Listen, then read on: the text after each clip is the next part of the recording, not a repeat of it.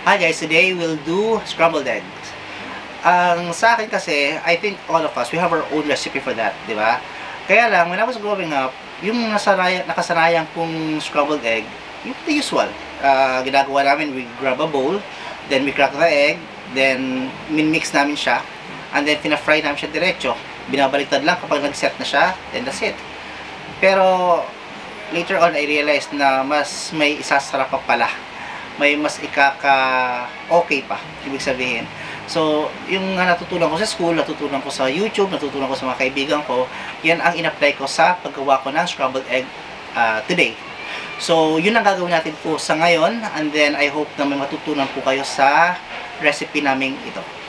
So, stick around and uh, please enjoy this. Hi there, Showbiz and Showboys. My name is Roland P. Peñares, and welcome to my channel.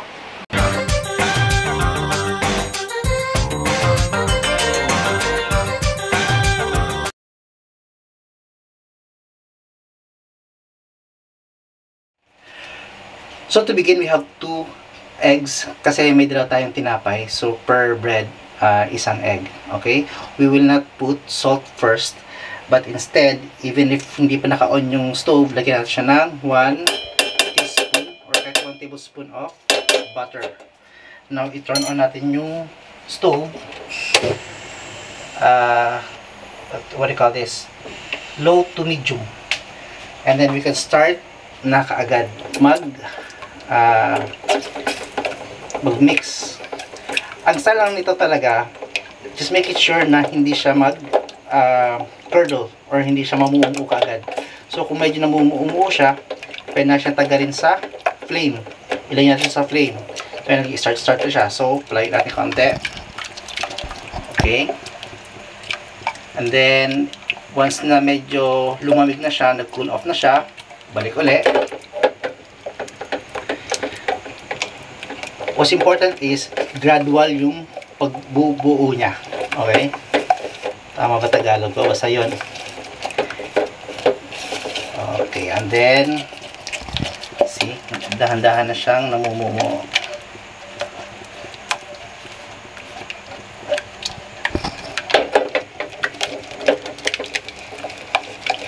Medyo mabilis lang ang galaw.